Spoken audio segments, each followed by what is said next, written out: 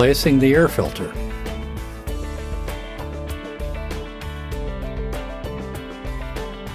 Using the Phillips screwdriver, we remove the filter cover screw and filter cover. By hand, remove the filter from the upper housing's filter cavity.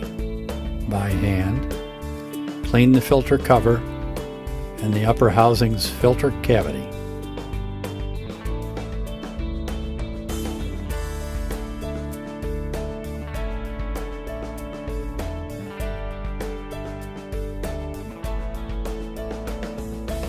By hand, assemble the new filter to the upper housing.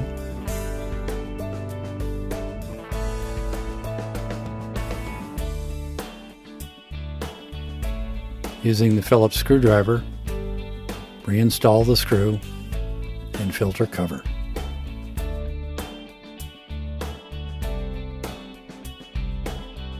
Replacing the pumping chamber blocks.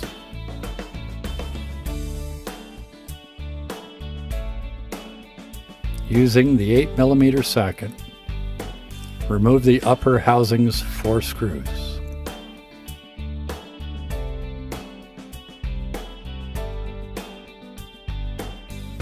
Using the slotted screwdriver, gently pry the upper housing from the base by inserting the blade between the upper housing and the base's pressure port.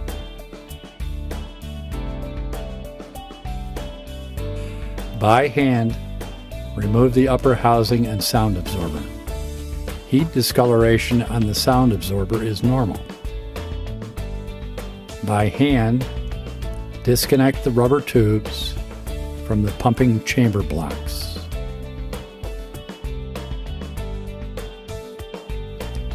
Using the Phillips screwdriver, remove the screws from the pumping chamber blocks, 8 total with 4 per chamber block. By hand, remove the head blocks. The head block is the outer part of the pumping chamber block.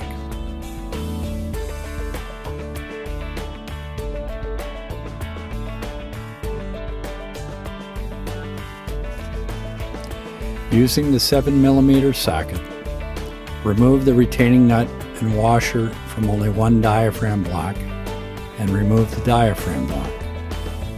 The diaphragm block is the inner part of the pumping chamber block. By hand, remove the remaining diaphragm block and rod block assembly from the motor. Do not damage the rod block at any time during this procedure. Tabs on the top of the rod block must clear the safety switch mechanism.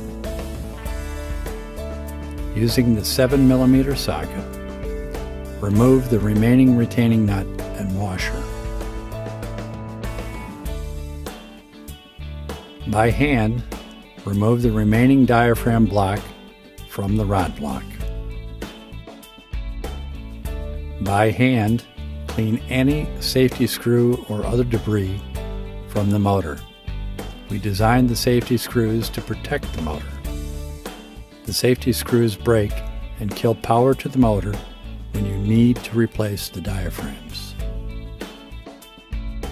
By hand, remove and discard all broken safety screw and nut pieces.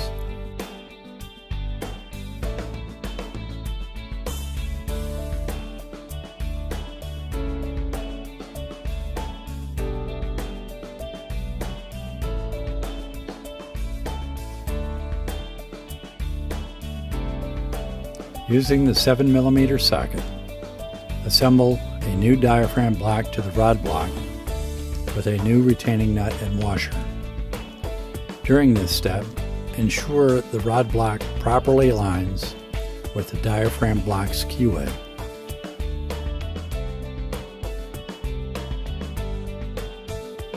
And the lock nut's crown faces away from the diaphragm.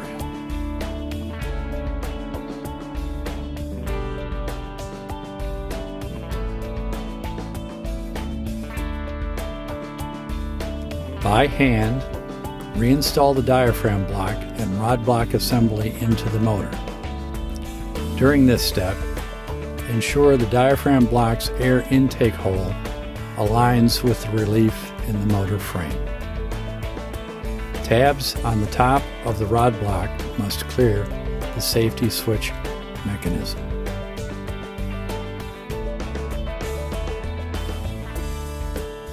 Using the 7mm socket, assemble the remaining new diaphragm block to the rod block using a new nut and washer. During this step, again ensure the rod block aligns with the diaphragm block's keyway.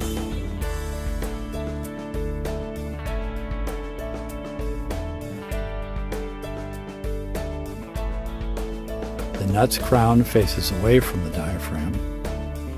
The diaphragm block's air intake hole aligns with the relief in the motor frame.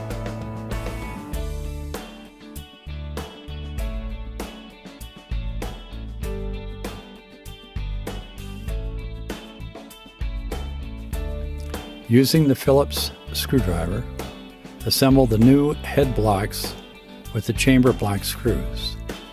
Ensure the head block keyways align with the diaphragm blocks.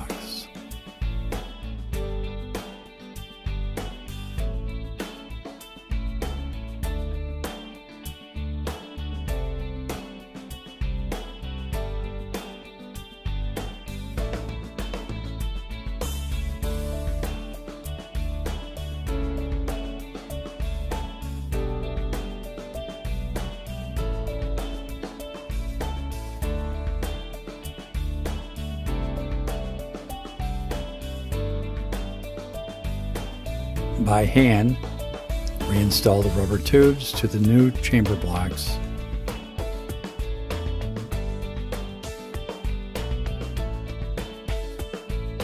Then reinstall the sound absorber.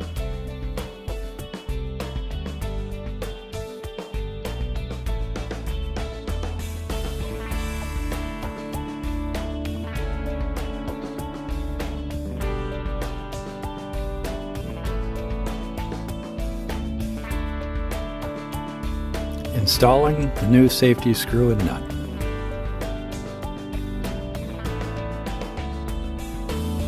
By hand, insert the new safety screw into the switch assembly.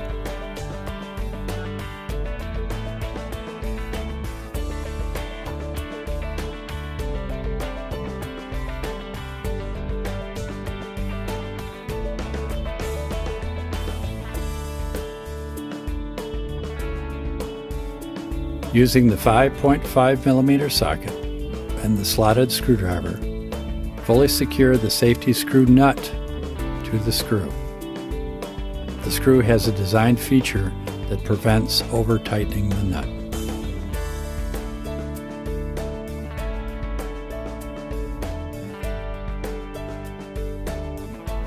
Place the upper housing back into place on the pump base then reinstall the upper housing screws. Using the 8mm socket, if you are using a power driver to install the screws, then we recommend you first engage the screw threads into the base by hand to reduce the likelihood of cross threading.